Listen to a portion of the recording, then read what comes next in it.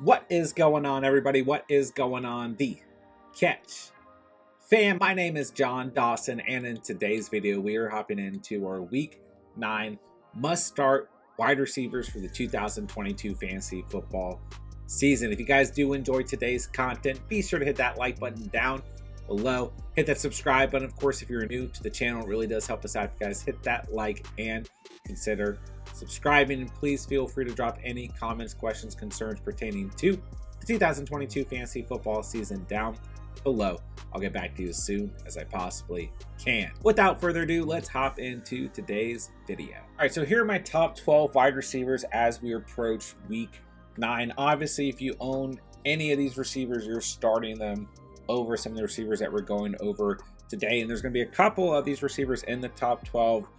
But if you own a guy like Tyreek Hill against the Chicago Bears this week, you're absolutely starting him over some of the receivers we're going to go over today. So just want to make sure I clarify that. I know Cooper Kupp's got an injury right now. I know Stefon Diggs has a rough matchup going against Sauce Gardner. Going to be a really fun matchup to watch. But overall, these are my top receivers as we approach the week.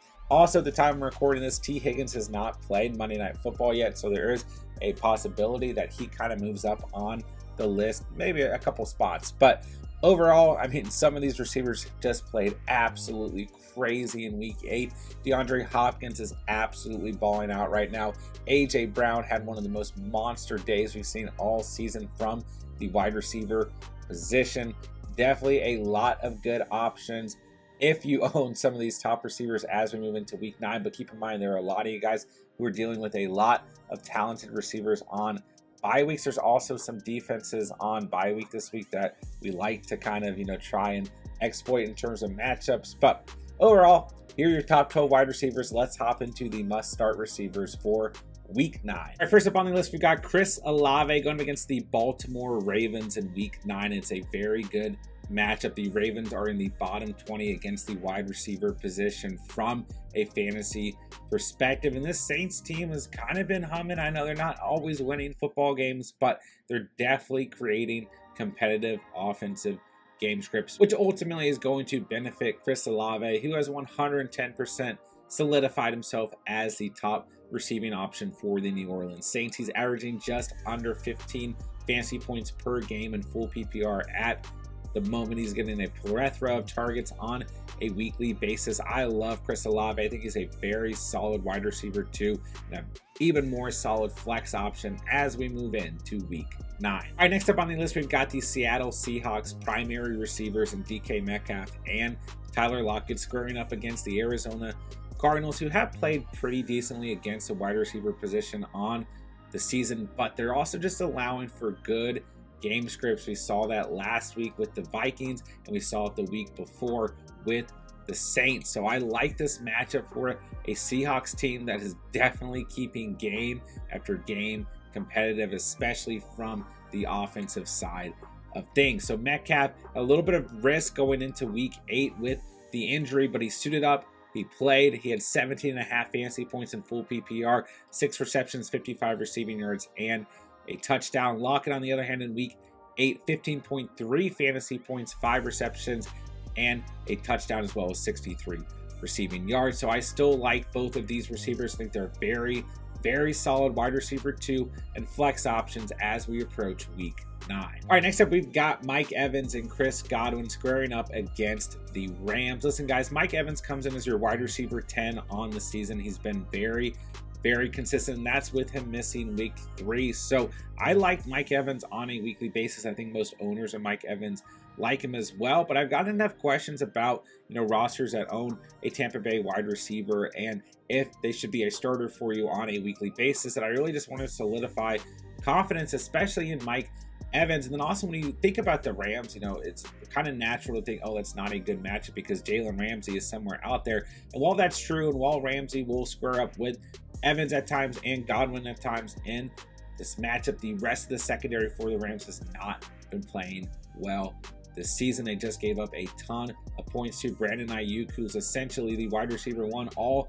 afternoon, except for a little bit of CMC action and a little bit of George Kittle action. So I have no doubt in my mind that Mike Evans and Chris Godwin will come out with very solid stat lines, especially in full PPR. Now, listen, Mike Evans is a receiver on this team who brings a little bit more upside, while Chris Godwin just brings a safe floor on a weekly basis. He still has not scored on the year. Hopefully, we start to see a little bit more action out of Godwin in the end zone, but overall, he's a very safe start. I think Mike Evans brings a nice ceiling as we move into week nine. All right, on last week's must start players heading into the weekend, I had DJ Moore. I said, call me crazy, but I really think Moore is going to have another good performance in week eight. He had 19.6 fantasy points in week seven. In week eight, he had an even better fantasy performance against the Atlanta Falcons, 27 and a half fantasy points, six receptions, 152 receiver yards, and a touchdown in week eight for DJ Moore and an absolutely clutch touchdown to keep the Panthers in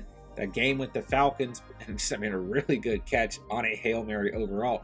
Regardless, a little bit of a tougher matchup against the Bengals this week, but the end of the day, this Panthers team is really fighting for respect within this league. And overall, I mean, this division is still up in the air. And the Panthers, I mean, they don't look awful with PJ Walker at quarterback, D'Onta Foreman at the running back position. I mean, they're trying to get it done, and this offense is going to run through DJ Moore as the primary target overall.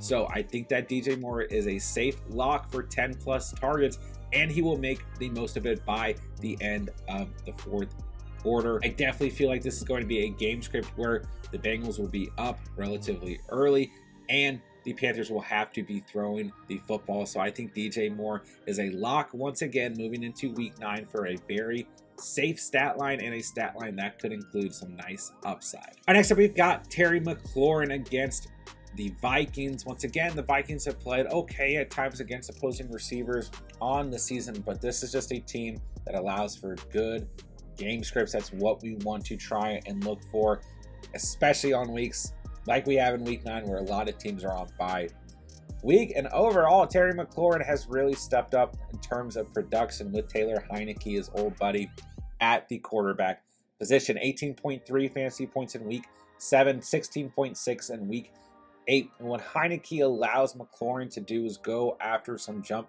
balls and go after some big play opportunities. So six receptions, 113 receiving yards in week eight, 73 receiving yards in week seven, and a touchdown. I'm a big fan of Terry McLaurin. I think he's a very solid wide receiver, too. Moving into week nine, an even more solid flex option as we approach the week. All right, next up on the list, we've got the Green Bay Packers receivers, believe it or not. I know they felt a little hazy over the last couple of weeks. I know Allen Lazard missed week eight against Buffalo. As long as Lazard is healthy and good to go, I like him as we approach week nine, mainly because the Packers play the Detroit Lions, one of, if not the worst defense in the entire league. This should be a really good outing for the Green Bay Packers offense, who, even though they lost in primetime television against the Buffalo Bills, they at least showed some fight in this offense. You know, Aaron Rodgers showed some trust and his receivers. I've liked Allen Lazard when healthy on a weekly basis in full PPR, so I like him in this matchup quite a bit. On the other hand, Romeo Doubs really showed, you know, some productivity in this game as well. Had a nice catch in the end zone off a really nice pass from Aaron Rodgers. I think, you know, after the tough week seven where there was some buzz, like, you know, maybe Romeo is not going to be a part of this offense or whatever, the way Aaron Rodgers was talking about receivers and opportunities you know, Doubs really bounced back in week eight nicely. Seven targets, four receptions, 62 receiving yards, and that touchdown. So I do think there's a good possibility that Doubs is once again targeted, you know, six or seven times in this matchup against the Lions and makes the most of it here in week nine. All right, next up on the list, we've got Christian Kirk, who I know a lot of you guys have lost some confidence in after week eight, but I told you guys, you know, even if Kirk doesn't line up against Pat Surtain because he lines up out of the slot. It's still going to be a really tough matchup. This Denver Broncos unit is just good against opposing wide receivers, but Kirk is still a top 15 fantasy wide receiver in full PPR, even after scoring just seven points in week eight. And I really like this matchup against the Raiders in week nine. This Raiders defense does not look good. They just got blown out by the Saints, okay? I mean, they are just allowing for really good opportunities at a lot of different positions, but definitely in terms of all offensive positions from a fantasy perspective. So I think that Kirk and the Jaguars will bounce back very nicely as we move into week nine. All right, last on the list, we've got Rondale Moore, who I know for a lot of you guys has felt kind of boomer bust on the season. We really liked him after weeks five and six, where he had at least 10 fantasy points with a ceiling of 13.1 fantasy points, and he really disappointed us in week seven with just 4.1 fantasy points. Then he went absolutely crazy in week eight against Minnesota 23.4 fantasy points, 92 receiving yards off of seven receptions, and a touchdown. Listen, the Seahawks defense is not, you know, they're not garbage. They're not awful, kind of like we have imprinted in our minds. They have actually been playing pretty well this season, but they have allowed some pretty damn good game scripts overall. I like this matchup overall between the Cardinals and the Seahawks from a fantasy perspective as we move in to week nine. I think that Rondale Moore should get a lot of opportunities in this game alongside DeAndre Hopkins. So I think that Moore could be in line for a good stat line. I think he's a very solid flex as we move into week nine. And that'll do it for today's video. If you guys did enjoy the content today, be sure to hit that like button on the way out. Hit that subscribe button, of course, if you are new to channel. Please feel free to drop any comments, questions, concerns pertaining to the 2022 fantasy football season down below. I know on a weekly basis, I usually do starts and sits for every position, every matchup, but here in midseason, I've been feeling a little bit burnt out, so going a little bit lighter this week on the content. So let me know what you guys thought of this format. And of course, if you guys have questions on receivers that you didn't see listed today, those tougher decisions you're trying to make as we move into week nine, please let me know. I'd be happy to help you guys set your rosters. And be sure to look out for our next Fantasy Q&A live stream. We would love to have you there. With that, I'll say thank you guys so much for watching and or listening. And remember, you saw it here on The Catch.